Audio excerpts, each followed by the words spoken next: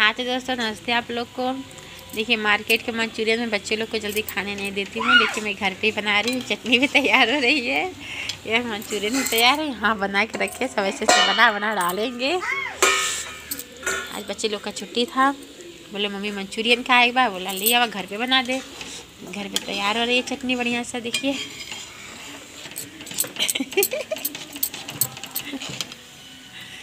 और मंचूरियन तैयार हो रही है।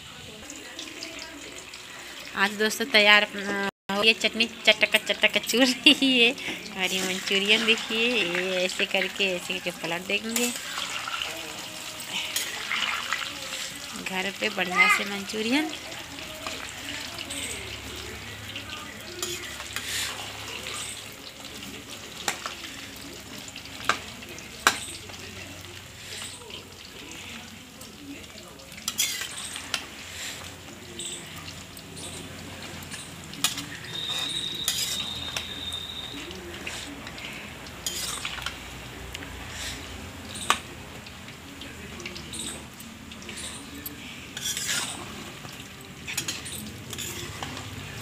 देखिए मस्त बन गया मेरी। मस्त बन गया, मेरी चटनियाँ भी हो गई है। और यहाँ पर रखी इसे वैसे से डाल देंगे छोटा छट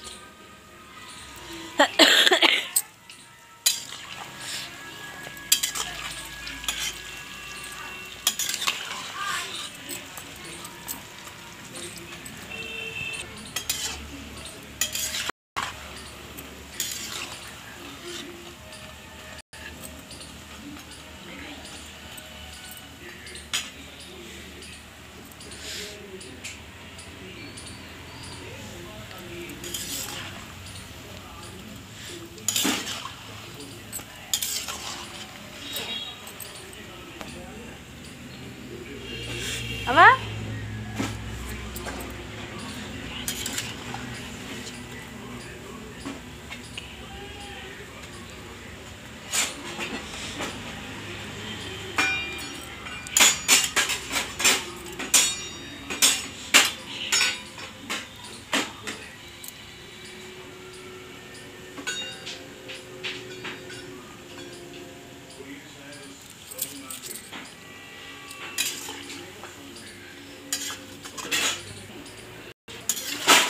हाँ तो दोस्तों, जब बच्चे मंचूरियन खाने के लिए जिद करें तो घर पे ही तैयार करें। मैदा के मैदा में तेज़पत्ता। तेज़पत्ता नहीं हो क्या होता है, उसको क्या बोलते हैं? अरे। हेलो। हेलो दोस्तों हाँ अगर तेज़पत्ता नहीं, उसको पत्ता गोभी बोलते हैं। पहले पत्ता गोभी ले लें, उसमें मैदा लेके मतलब पेस्ट कर दे दोनों को। हल्का सा नमक डालें। स्वाद अनुसार जितना खाना हो आप लोग को, करने के बाद। उसको मतलब तैयार करके जैसे इसे बना के रख दीजिए।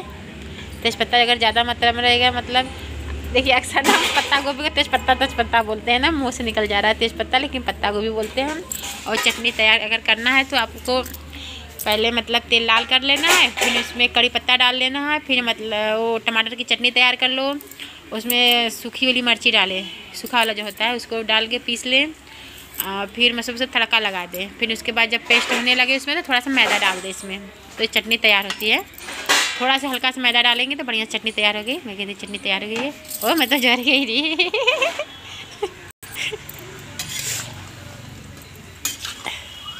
देखिए, हो गया ना मेरा चटनी। मेरी मंचूरियन इधर है, चटनी उधर है। खुशी हमारे पता नहीं क्या क्या मुँह आवाज़ निकल रहा है। चलिए दोस्तों ठीक है तैयार है मेरी चटनी और मंचूरियन।